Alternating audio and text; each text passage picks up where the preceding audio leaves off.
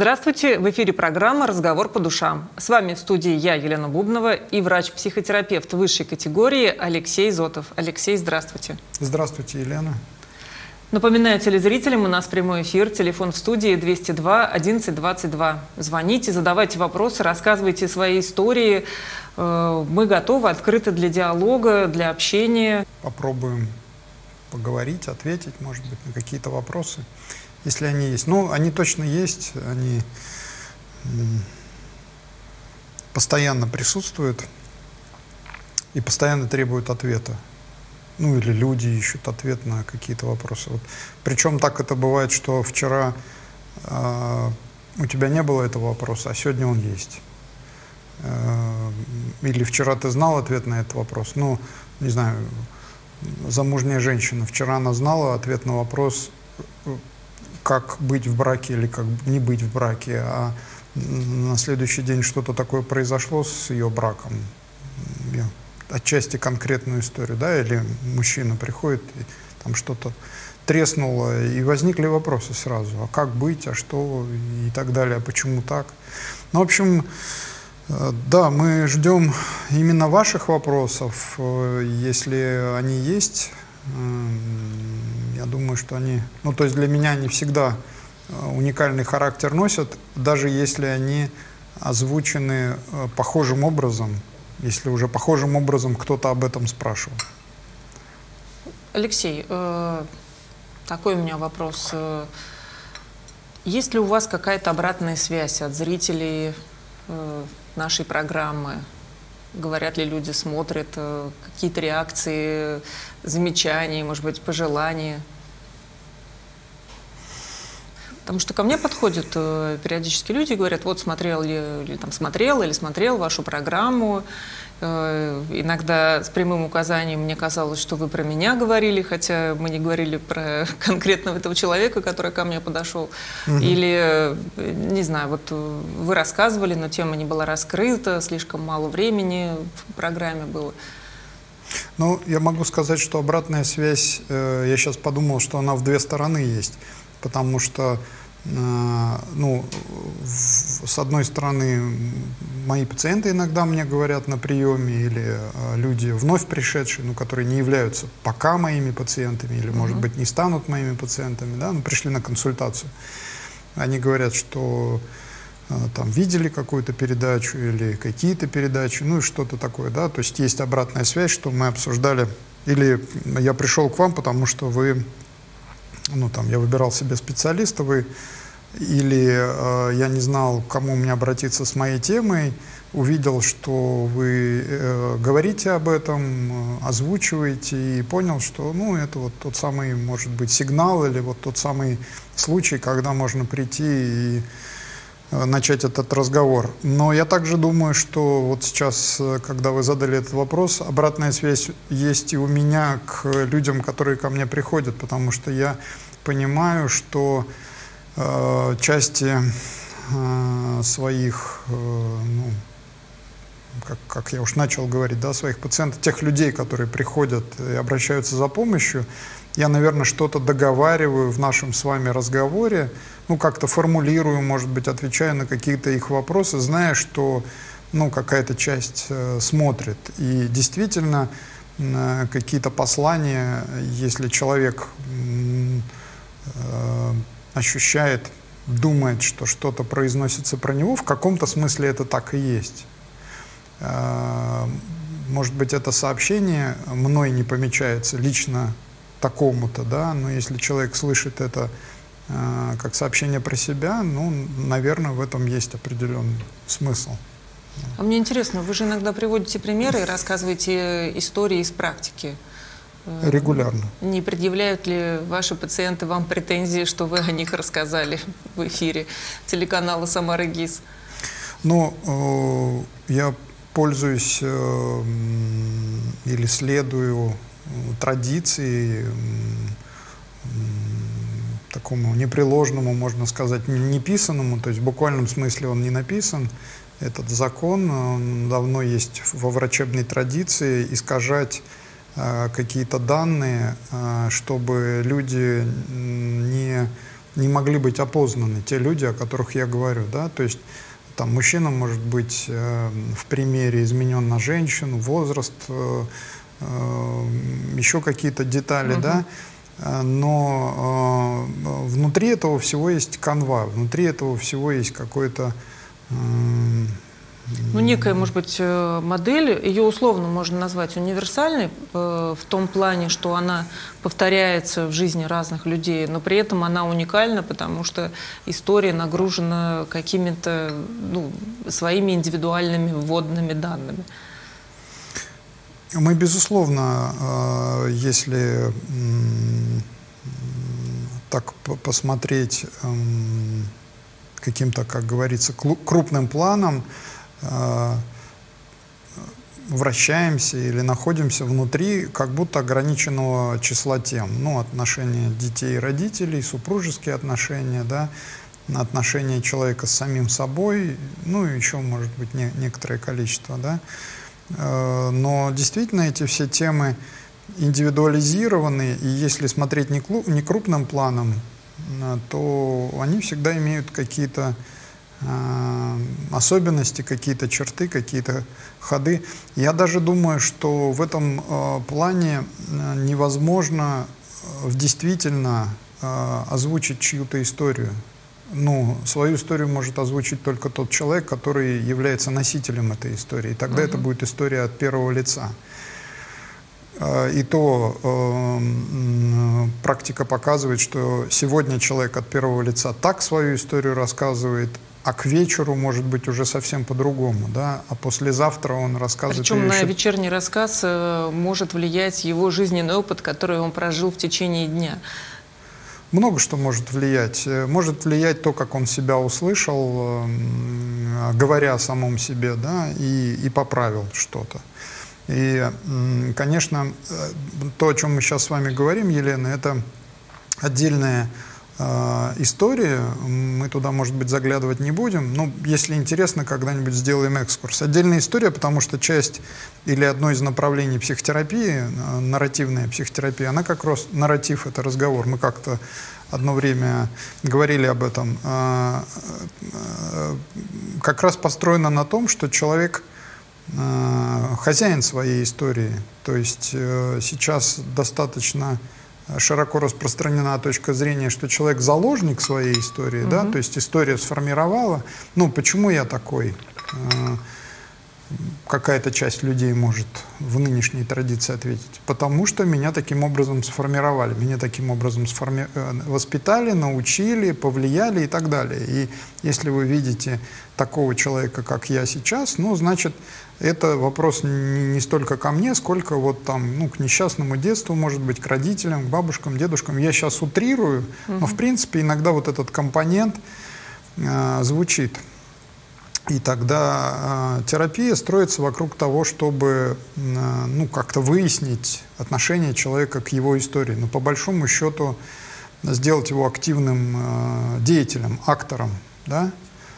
Э, в этой истории. Э, При Если... этом, э, да. вклинюсь, ага. мы уже как-то говорили об этом, что когда человек приходит вот со своей этой историей детства, там, взаимоотношений, в кабинете у психотерапевта или у психолога ему приходится ну, наверное, научиться, может быть, или сделать некий вывод, что сейчас, будучи взрослым, у него есть уже взрослые ресурсы, взрослые возможности, ну, действительно взять ответственность за свою жизнь и ну, быть хозяином самому себе.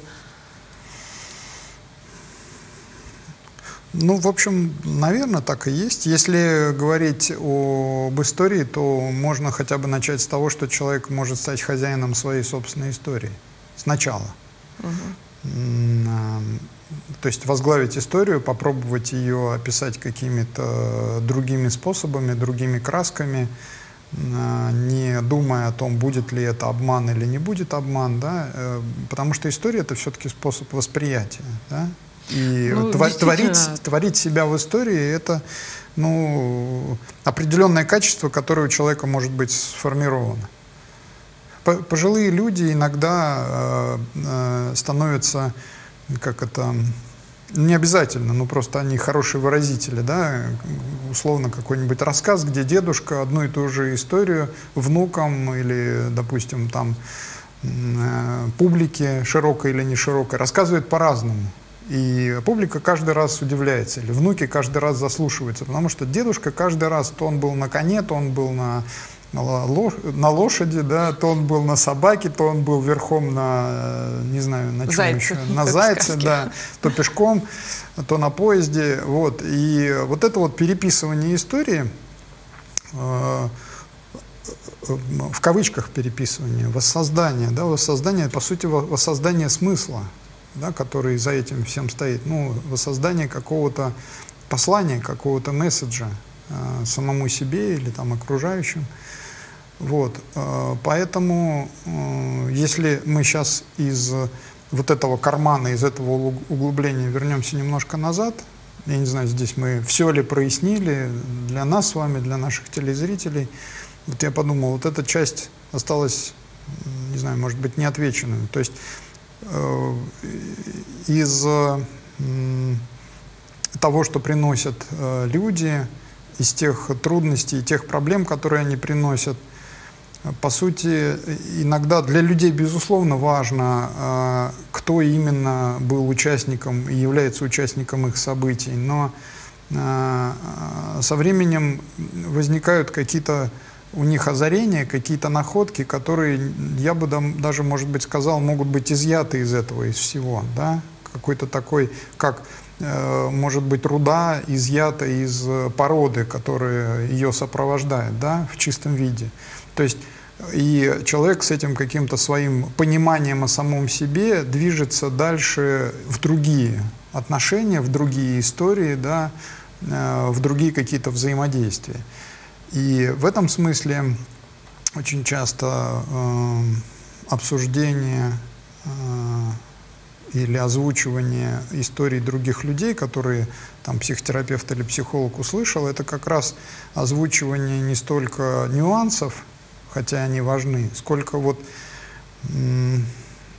попытка воспроизвести или придвинуться к этому, к этому ну, подвести к рождению этого смысла, я бы так сказал. Да? Вот все так складывается, и когда люди слушают, а, вот оказывается это, ну, как, как это могло бы развернуться, или вот оказывается, чему можно здесь научиться, или вот оказывается, а, что здесь является важным, что человек там для себя не замечал.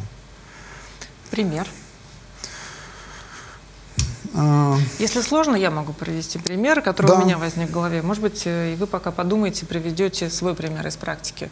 А, я знаю, тоже у психологов э, есть такое упражнение исследовательское, когда просят э, написать свое первое детское воспоминание.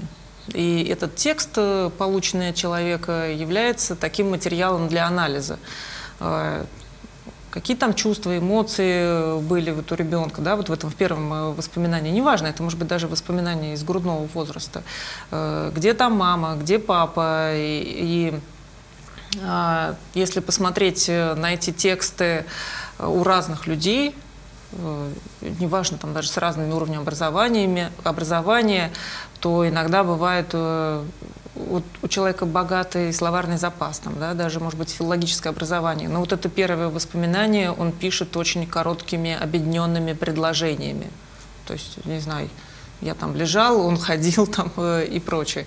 И психологи разбирают э, и просят этот текст переписать, э, дополнить его вот смыслами, про которые вы говорите, или, может быть, даже нюансами. Если там не хватает эмоций, то прописать эмоции какие-то, прописать возможное поведение родителей, взрослых. Вот на ваш взгляд, насколько это целесообразна такая работа? что у человека в голове меняется, когда он проводит э, вот эту работу, обогащая свои э, вот эти воспоминания уже с помощью своих взрослых ресурсов и знаний, допустим, о чувствах, об эмоциях, об отношениях между людьми.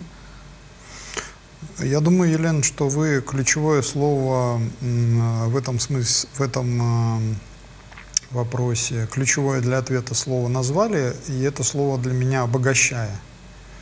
А, то есть а, мы знаем или достаточно часто так получается, проявляется, что а, большая часть, ну, детские какие-то переживания в первую очередь, они оказываются а,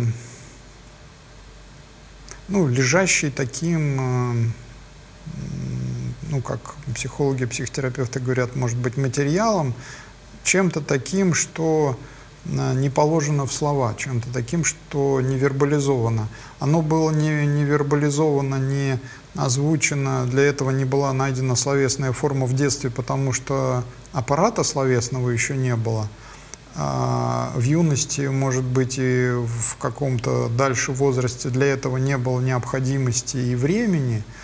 А если вы говорите о приходе к психологу, к психотерапевту, иногда это а, для людей первый опыт, а, первые, первые попытки а, оформить переживания, ранние, давние переживания в слова. В нарратив какой-то.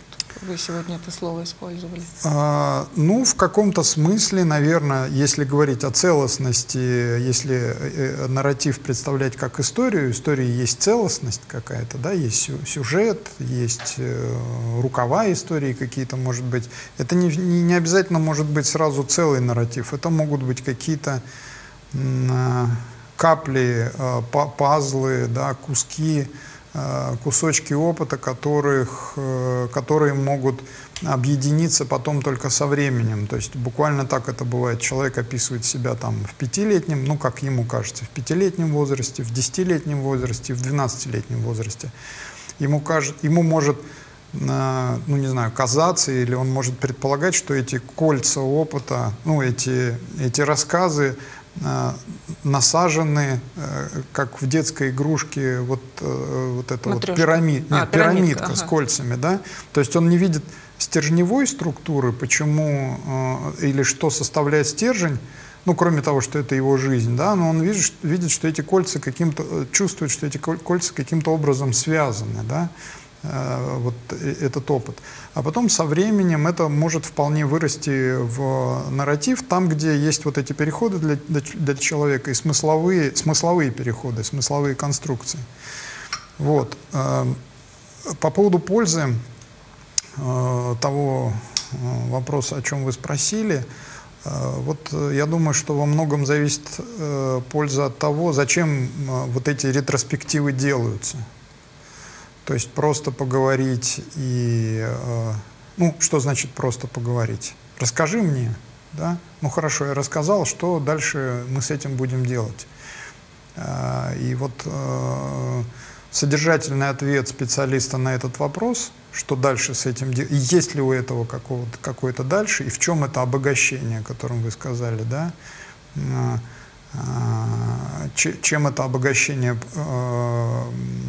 происходит, ну, может быть, обогащение смыслом, мы уже начали об этом говорить, да, то есть какой-то мой ранний опыт, который мне виделся болезненным, травматичным, пустым, э, одиноким, да, да?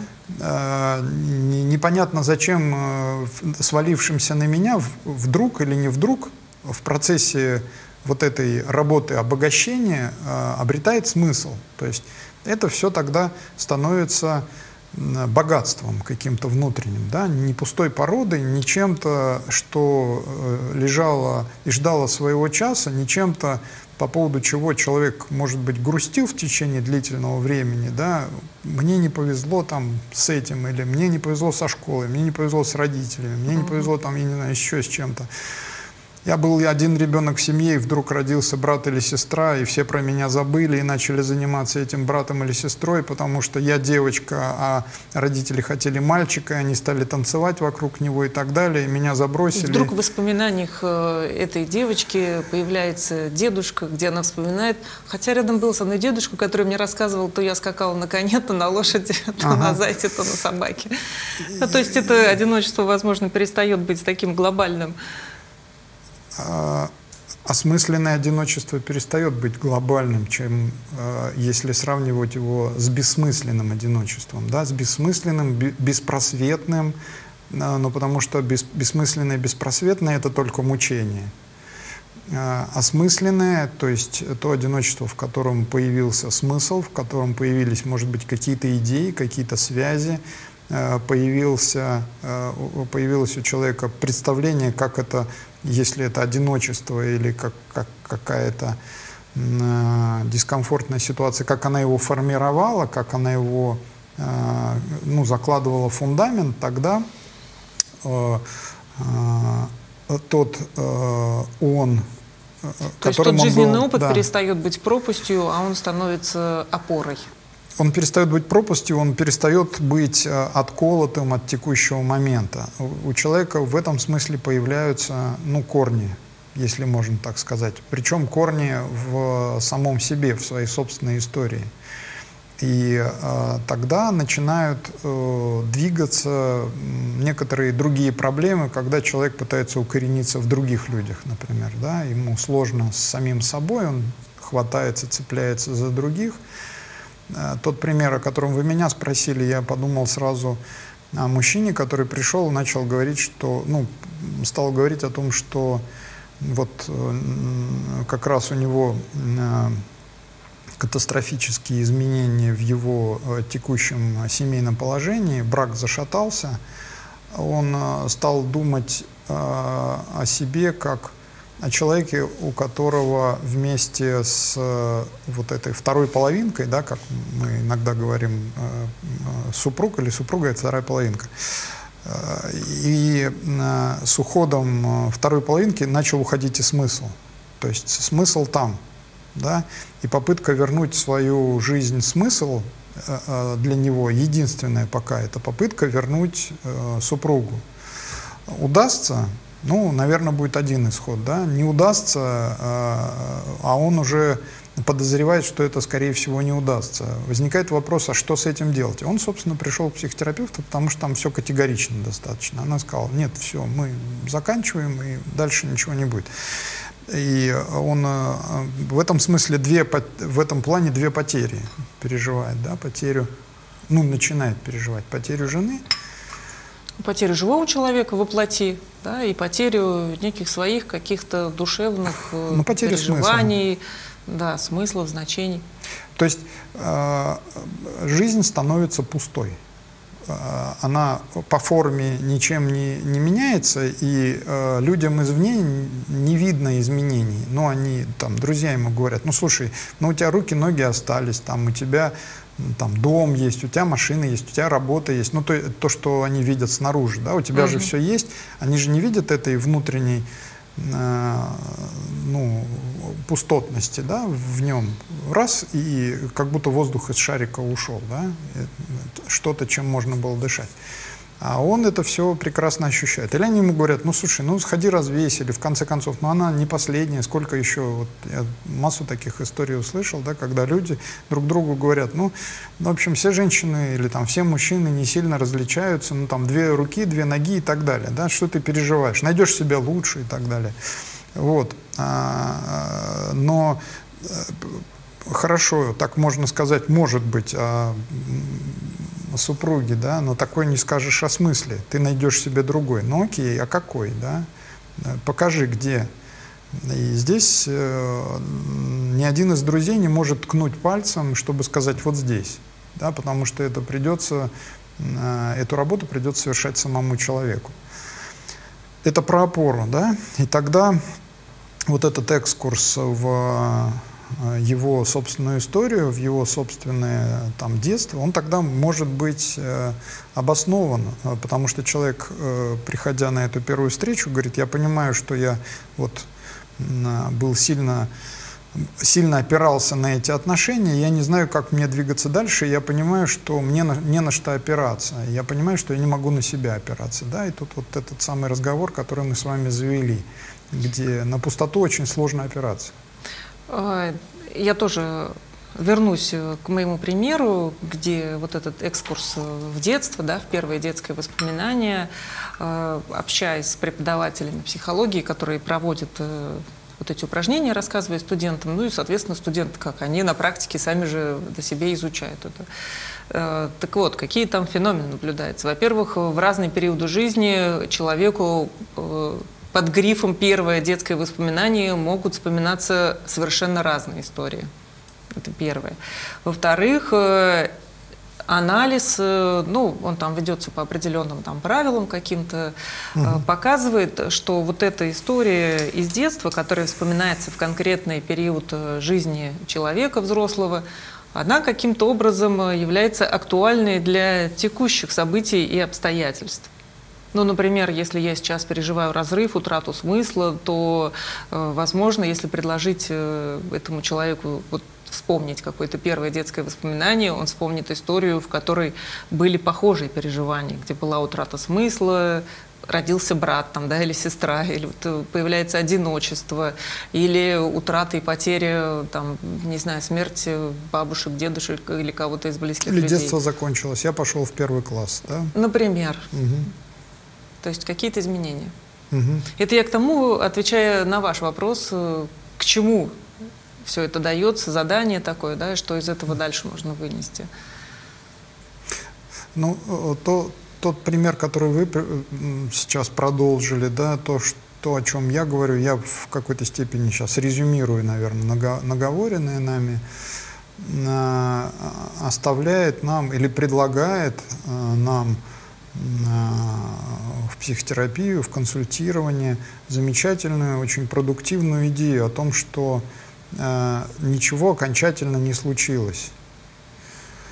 Э, или э, что-то случилось, чего, э, как фарш в мясорубке, не провернешь назад, но что-то постоянно случается, постоянно происходит, и э, я думаю, вот сейчас, говоря вам, Елена, это, я думаю, что одна из важных функций или важных задач, может быть, э, психотерапевта, вот так попутно сейчас мысль пришла, э, одной из важных задач психотерапевта является вот эту ну, надежду, что ли, потому что эта идея дает надежду.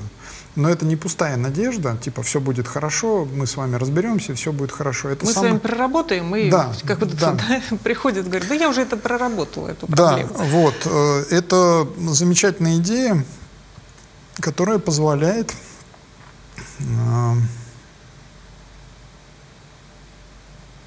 э, которая позволяет делать продуктивную работу. Ну и вот открывать в себе что-то новое. Внутри. Это же такое интересное, увлекательное мероприятие, процесс, э, узнавать себя. Ну или открывать в себе что-то старое и давно забытое, а, что-то такое, чего в насущной, текущей, текущей жизни сильно не хватает. Ну, открывать в себе детское, мы с вами начинали об этом говорить, да, открывать в себе а, что-то такое ресурсное, открывать в себе Э, свою уникальность, открывать в себе э, эм, не знаю, даже знание о собственных реакциях, почему я реагирую на те или иные процессы вот, э, ну, именно так, а не по-другому.